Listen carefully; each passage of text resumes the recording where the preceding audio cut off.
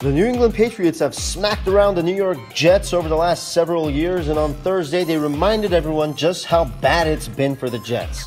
With the two teams clashing in Week 7, the Pats reminded everyone of one of the most laughable plays in Jets history. The Patriots Twitter account posted a picture of Mark Sanchez's butt fumble from Thanksgiving in 2012 with a caption saying, quote, This seems relevant. The Patriots would later take down the tweet, not a surprise when you consider the team doesn't really talk trash.